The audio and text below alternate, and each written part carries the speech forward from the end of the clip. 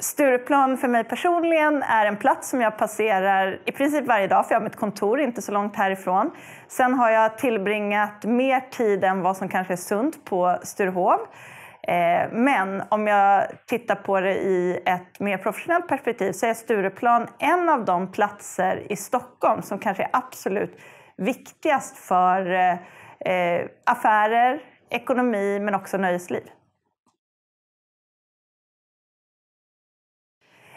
Stockholm och alla städer måste kunna förändras och utvecklas, det är självklart. Men det som har gjort att jag har oroat mig, det är ju om eh, man behöver stänga ner Stureplan eller stora delar av Stureplan under lång tid. Så att eh, man måste kunna göra förändringar, men vi får inte göra förändringar som hotar, eh, ja, hotar det som faktiskt är det som gör att inte bara jag utan väldigt många andra också gillar den här platsen.